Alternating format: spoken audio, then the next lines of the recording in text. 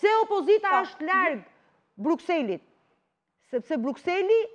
ka hyrë në makinerinë e burokracisë, i cili për hir të së vërtetës nuk i bëhet vonë fare për Shqipërinë sot, se ka hallin se çfarë do ndodhë me Brukselin në maj me zgjedhjet për eurodeputetët, për Parlamentin Europian, pra cilat do të jenë raportet dhe forcat, ku do të jenë socialdemokratët, ku do të jenë nacionalistët, ku do të jenë popullorët e tjerë kështu me radhë. Dhe normalisht të kapim ça të kapim,